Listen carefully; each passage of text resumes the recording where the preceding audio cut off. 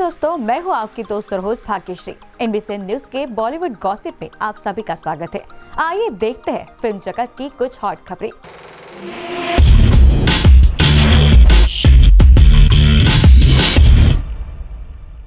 अर्ट बालाजी की web series गंदी बात सीज़न फोर रिलीज़ हो चुकी है और इसी सिलसिले में सीरीज़ के स्टार कास्ट से मीडिया ने की कुछ खास बातचीत। एक बार फिर से एकता कपूर इस साल की सबसे बोल्ड वेब सीरीज़ लेकर आई है। आज एएलटी बालाजी की वेब सीरीज़ गंदी बात सीज़न फोर रिलीज़ हो चुकी है। एकता कपूर की वेब सीरीज़ अपनी ट्रेलर लॉन्च के समय से ही चर्चा में है। ऑडियंस ट्रेलर को काफ़ी पसंद किया है और बहुत सारे कमेंट्स भी किए हैं। मीडिया से बात करते हुए सीज़न फोर के स्टार कास्ट ने इस सीज़न की स्टोरी बताई है। अपने कैरेक्टर के बारे में सभी ने खुलकर बात की। सभी ने अपना एक्सपीरियंस शेयर किया। सबने कहा कि इस सीज़न में काम करना एक प्रेशर की तरह था। क्योंकि पिछले तीनों सीज़न हिट रह चुके हैं। सभी ने कहा कि ये एक चैलेंज की तरह था बट हमारे डायरेक्टर ने हमें काफ़ी अच्छे तरीके से ट्रीट किया है और हमें बहुत कुछ सिखाया भी है। ऑब्वियसली प्रेशर तो है ही क्योंकि सीज़न वन बहुत हिट था सीज़न टू के भी अच्छे रिव्यूज़ थे सीज़न थ्री हिट था। तो प्रेशर तो ऑब्वियसली था ही हमारे ऊपर। ऊपर से कैसा है, मेरे लिए गंदी बात पहली बार मैंने मतलब कुछ अपनी लीग से हट के किया। तो मेरे पे मेरा पर्सनल प्रेशर ज़्यादा था कि कैसे होगा। Uh, हाँ मेरा भी आई थिंक सेम वही प्रेशर था बिकॉज़ uh, इसके पहले मैं सिर्फ़ टीवी करी थी और टीवी में ऐसा कुछ होता नहीं है and I was taking a big leap from TV to movies and to digital and I had to prepare myself mentally सबसे पहले तो हम दोनों एक्साइटेड हैं कि yes. मतलब कि ऑडियंस का कैसा रिस्पांस रहेगा। एंड नर्वस भी है हाँ हाँ। स्क्रीनिंग तो हो गया हमने मज़ा किया मतलब स्क्रीनिंग में भी काफ़ी अच्छा रिस्पांस मिला लोगों का स्टोरी पे कंसंट्रेट करना storyline, yeah. मैसेज पे कंसंट्रेट करना। रिलेटेबल कॉन्सेप्ट और एग्जैक्टली exactly आपके सोसाइटी में आपके इर्द गिर्द कहीं ना कहीं ये चीज़ें हो रही होगी आपको पता नहीं चल रहा है। सो एंजॉय करो। 2018 में मीटू की मुहिम शुरुआत करने वाली तनुश्री दत्ता फिर एक बार भड़की नाना पाटेकर पर। आज इस प्रेस कॉन्फ्रेंस में तनुश्री ने बताया कि उन्होंने अब प्रोटेस्ट पिटीशन फ़ाइल की है। कोर्ट में जिसकी फ़र्स्ट हियरिंग 17 जनवरी को होगी। और ये इस केस की पहली हियरिंग होगी, जहाँ पहली बार तनुश्री को कोर्ट में पेश किया जाएगा। नाना पाटेकर पर आग उगलते हमने तनुश्री को कई बार देखा है। आज भी कुछ इसी अंदाज में तनुश्री नज़र आई, जहाँ उन्होंने नाना पाटेकर को आसाराम बापू से कंपेयर कर दिया। इतना ही नहीं, तनुश्री ने उनके नाम फाउंडेशन से आ रहे पैसों पर भी सवाल उठाया है। और इस बार तनुश्री सिर्फ़ नाना पर नहीं, बल्कि राखी सावंत पर भी भड़की नज़र आई, जहाँ उन्होंने कहा कि वो उन्हें भी नहीं छोड़ेगी। और केस फ़ाइल करेगी। तनुश्री ने ये भी कहा कि राखी ने उनसे माफ़ी मांगने की कोशिश तक की है और एक्सेप्ट भी किया कि जो भी उन्होंने साल 2018 में बोला था, वो पैसे लेकर बोला था। इमेज उसने बना के रखी है ना कि मैं तो बहुत गरीब हूँ, मैं तो एक घर में रहता हूँ, ये धकोसला है, झूठ है ये। दुनिया को दिखाने के लिए है कि हम कितने विनम्र है कि कुछ नहीं है ढकोसला है। आप लोगों को उल्लू बनाना सबसे आसान काम है।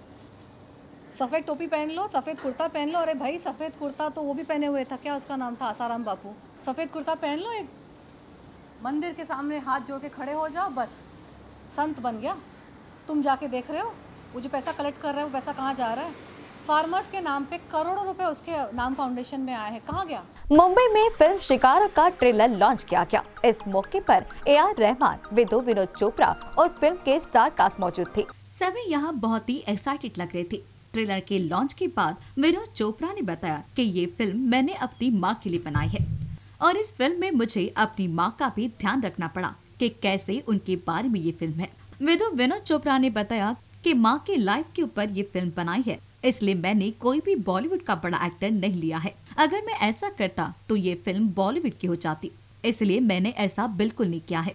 और अगर इस फ़िल्म में कोई बड़ा एक्टर होता तो ये फ़िल्म मुझे फेक लगती।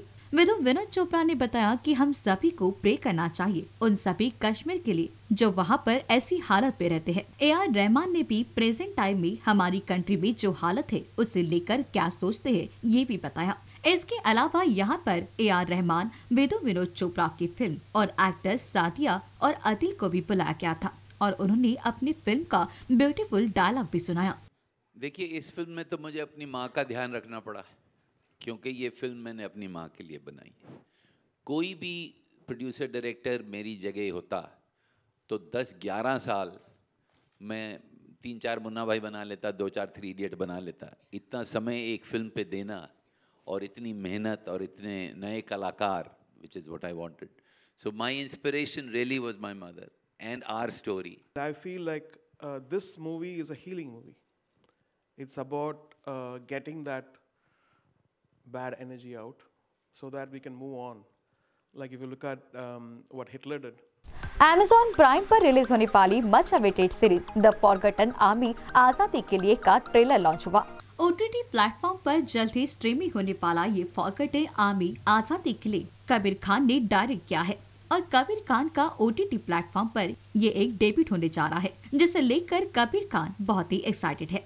इसके अलावा इस सीरीज़ में स्टार कास्ट सनी कौशल और शर्वरी है, जो बहुत ही एक्साइटेड है। इनके अनुसार हमारा एक्सपीरियंस बहुत ही अच्छा रहा है, चाहे वो शूटिंग का हो या फिर डायरेक्टर के साथ हो। हमने शूटिंग के दौरान बहुत एंजॉय किया है और हमने अपने गेटअप पे भी बहुत एंजॉय किया है। सनी और शार्वरी को फॉरगेटन आर्मी से बहुत ही उम्मीद है कि ये लोगों को बहुत ही पसंद आएगी।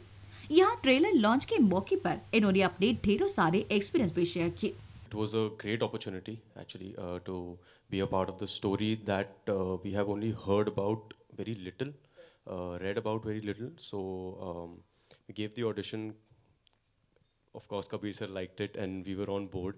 Uh, we started having uh, reading sessions, and I was just blown away uh, by the sheer knowledge that he has about the whole subject. And that was the moment, the first day of our reading was the moment I realized how special uh, this story is for Kabir sir, how passionate he is about the story, uh, and that puts an added responsibility on us as actors to portray those characters. Uh, I don't know, I'm just really grateful and I'm very excited for the show. And uh, thank you, Kabir sir, for letting us be a part of his vision. You know, I think uh, that's the most special thing for us.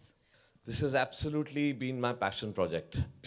I've often said this this is the story that made me want to become a filmmaker. Um, सब कहते हैं कि वो एक कहानी होती है जो सब कहना चाहते हैं ये वो कहानी है this is a story that's lived with me for more than 20 years. It's lived with me because I, at a very young age, fresh out of film school, got an opportunity to actually witness this history through the eyes of the people who made this history. Bollywood gossip में फ़िलहाल इतना ही कल फिर मिलते हैं film industry के खट्टे मीठे खबरों के साथ अलविदा